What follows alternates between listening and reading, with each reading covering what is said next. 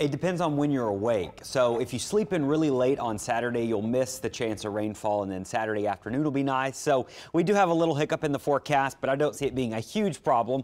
Here's a live view. This uh, yesterday was gorgeous. This morning, not too bad. A little cool in the 40s and 50s, but we're headed back to the 70s today. We'll have sunshine with a few clouds, and then if you are going to be out this evening, still in the upper 60s and low 70s. So really, really nice day to be out and about. And then, as I mentioned, tomorrow we got a little rain in the forecast. Now, if you're planning your Saturday, you don't need to cancel anything, I don't think, but there are probably going to be some showers and maybe a downpour or two tomorrow morning through around midday and mainly south of the lake. Let me show you what I'm talking about. This is tomorrow morning before you wake up, some clouds building in. Right around sunrise, could see some showers, maybe even a thunderstorm near the coastal areas. And then it's possible we see a few of these showers try to lift a little further to the north, approaching even the metro. But notice a lot of this stays south of the lake, and a lot of it really stays just off in the Gulf of Mexico, at least the worst of it in the Gulf of Mexico.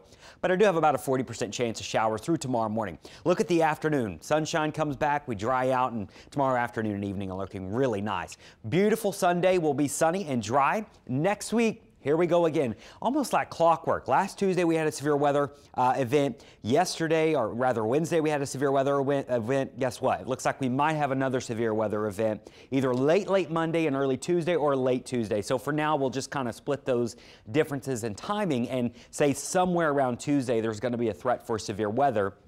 And notice we're already highlighting it for a level two out of five. Very similar to what we saw last week and this week. Not saying it's going to play out the exact same, but there are some indications that we could see some strong storms by about Tuesday of next week.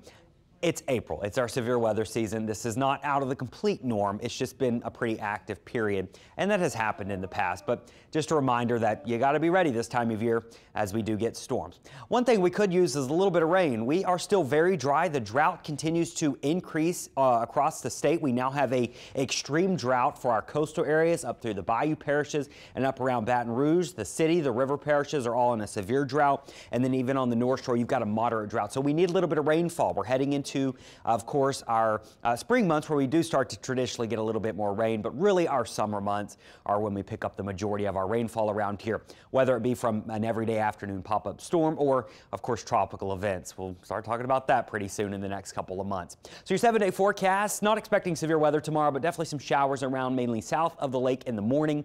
The afternoon looks drier. 79 and sunny on Sunday, and the next week we start to warm up, but remember, anytime we warm up this time of year and have rain in the it is probably going to come with a threat for some stronger storms. And right now it looks like we could see some of those stronger storms by Tuesday. So we'll be keeping an eye on that for you into next week.